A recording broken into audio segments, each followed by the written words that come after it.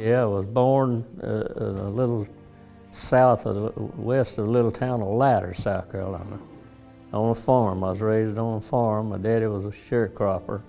we were poor people. and I was the oldest boy, so I was the main plow hand for my daddy. I, I started plowing by the time I was 10 years old.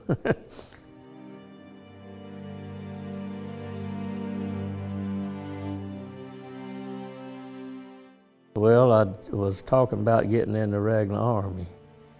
And uh, them guys, and I knew a lot of them guys over in Dillon County, so I was from Latta.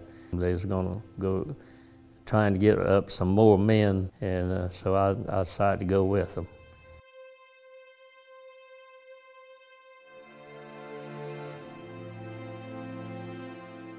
And on February the 10th, 1941, we got orders to come down here to Camp Stewart. well, it wasn't nothing much, yeah, mostly dirt roads and woods. we called it Swamp Stewart because it's close to the swamp.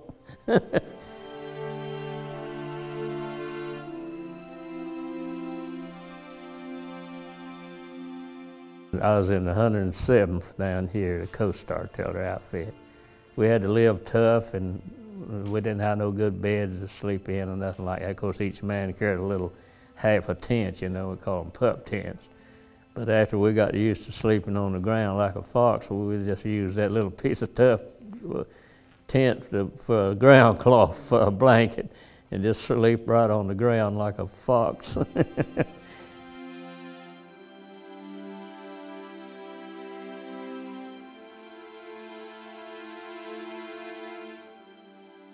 In fact, they had a big meeting down here right after Pearl Harbor.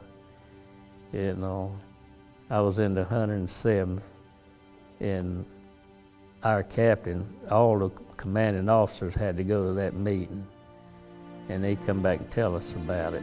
And uh, at Camp Stewart, we call it Camp Stewart here. And he come he come back after that meeting, and he said, "Fellas, said."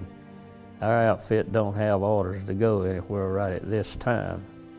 But said, I got orders from the government to get 50 men ready to go anywhere in the world they were needed.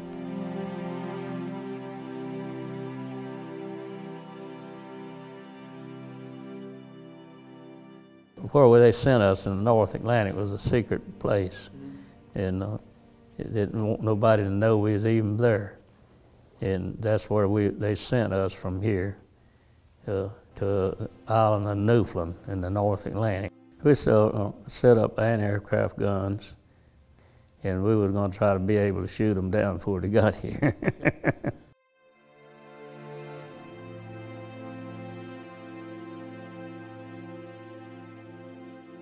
they called us all together and said they were going to start giving us a discharge at anybody that wanted one.